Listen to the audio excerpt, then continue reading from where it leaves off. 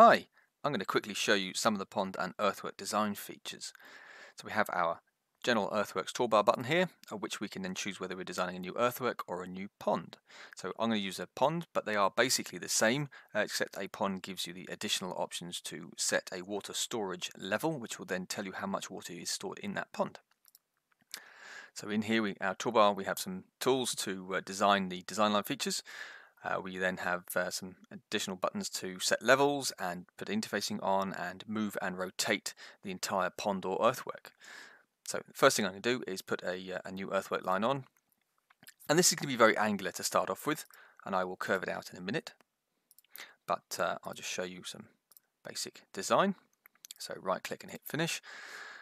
So on the 3D view, you can see here, this level has this line has been put in at roughly existing ground level, and it, so it's poking through a little bit there. But um, what I'm going to do is I'm going to make this more angular. So the first thing I'm going to do is hit Add Arc, and just curve this thing out. Now you'll notice as I do this, these cut and fill um, volumes here are dynamic. They automatically update as I go. So there we go. So once we've got this, I probably want to uh, drop this thing down. Now, if I turn the um, ground off on the 3D view, you can see what's going to happen. So we have a few options here. We can level to the surface, we can level to a plane, or we can just set the level of the whole line. So this is going to be the base of our pond, and uh, I need to drop it down. So it's roughly at 15.8 meters at the moment. So what I want to do is set that to be something like um, 14.5. And if I, when I click OK, this should drop down. There we go, just move down a small amount. So the next thing I want to do is put some interfacing on.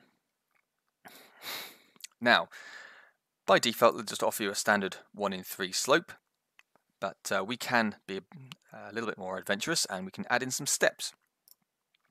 So uh, this is what happens when the um, pond would be in fill, and this is what would happen in cut. Now, obviously, most of the time this thing will be in cut, so it'll be going up to the existing ground as it's a pond. Um, but uh, we can define what's going on differently if we want to. So in this situation, I want to design a, uh, a new step that's say 1 in 3, but I actually want the height to be positive, and also I want it to be say 2 meters high.